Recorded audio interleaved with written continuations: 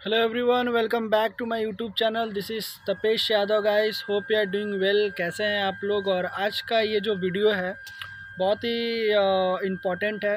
इस वीडियो में बहुत इंपॉर्टेंट टॉपिक का ऊपर बात करना चाहता हूँ कि जो लोग भी विज़िट वीज़ा पे इधर जॉब सर्च करने आ रहे हैं जॉब करने के लिए दुबई में आ रहे हैं, उन लोगों के लिए बहुत ही अच्छा वीडियो है।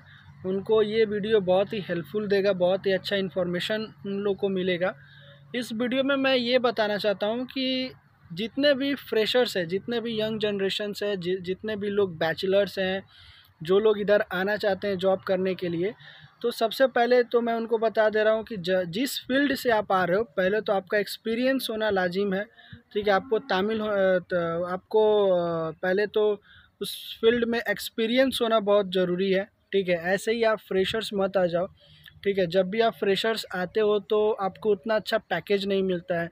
आपको इन्वायरमेंट का पता नहीं चलता है कि कैसे मेरे को काम करना है लोगों के बीच में ठीक है? क्योंकि इधर डिफरेंट टाइप्स ऑफ़ जॉब है डिफरेंट टाइप्स ऑफ़ कंपनी है डिफरेंट टाइप्स ऑफ़ पीपल हैं सबके साथ आपको मिलजुल के रहना है ठीक है? तो आप कोशिश करो कि होम कंट्री में ही आपको आ, कोई आ, दो तीन साल का एक्सपीरियंस लेकर आप इधर आओ ठीक है?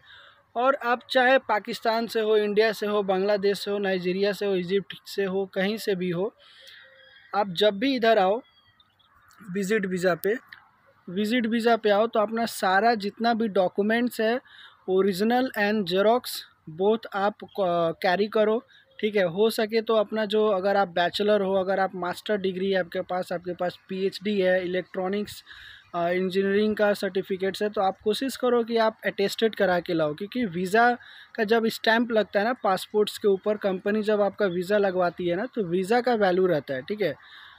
किसी भी कंपनी में जब आप दूसरा जाओगे इंटरव्यू देने तो अगर वो चेक करेगी कि ये बंदा किस, पहले क्या काम करके आया ठीक है? तो वो आपका वीज़ा देखेंगे कि वो आपका अकाउंटेंट वीज़ा है कि आपका मैनेजर का वीज़ा है, ठीक है?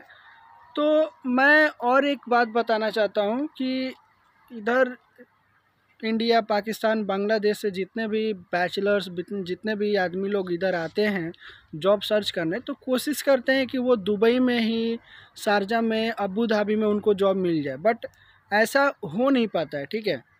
अगर आपको दुबई में जॉब नहीं मिल पा रही है तो आप कोशिश करो कि यूएई के जो बाकी स्टेट्स हैं, वहाँ भी ट्राई करने को। जैसे आपका रशल खेमा हो गया, उमल क्वीन हो गया, अजमान हो गया ठीक है, अलकूज हो गया, इन सब जगहों पे इंडस्ट्रियल एरिया शारजा हो गया, ठीक है, इन सब जगहों पे आपको जॉब मिल जाएगी। क्योंकि दुबई में क्या है ना, दुबई में कंपनीज़ के हेड क्वार्टर्स हैं और उन सब कंपनीज़ में जॉब लेने के लिए आपको पाँच दस साल का एक्सपीरियंस होना बहुत ही ज़रूरी है।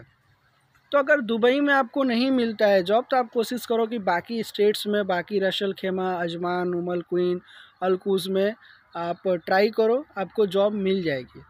और यहाँ पे मैंने देखा है कि बहुत सारे जो कैंडिडेट्स हैं, बहुत जो जब वो इंटरव्यू देने आते हैं तो प्रॉपर ड्रेस में नहीं आते हैं। तो कोशिश करो कि आप प्रॉपर ड्रेस में आओ, ठीक है? अपना सीवी को अच्छे से मतलब फॉर्मेलिटीज़ में आप सजा कर आओ, ठीक है?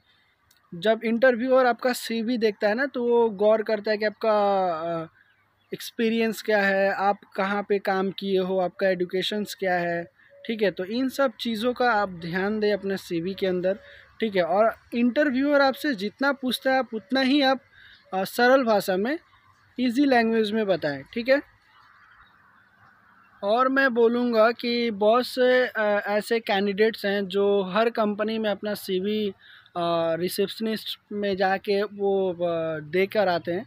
तो देखिए प्रॉब्लम नहीं है, आप सीवी हर कंपनी में जाके दो बट वो अगर प्रॉपर जगह पे अगर वो नहीं जा पाएगा तो फिर आपका सीवी देने का फ़ायदा नहीं है, ठीक है? तो आप कोशिश करो कि एचआर का नंबर मिल जाए किसी भी कंपनी में, जिस कंपनी में आप अप्लाई करो, उस कंपनी का एचआर का नंबर या ईमेल आईडी आप ट्राई करो लेने का, उसके बाद आप डायरेक्ट मॉर्निंग टाइम पे जब ऑफ़िस ओपन होता है, उस टाइम पे आप कोशिश करो मेल करने का अपना सीवी जॉब के लिए कोई वैकेंसी है कि नहीं इंक्वायरी करो तो आपके लिए फ़ायदा करेगा, ठीक है?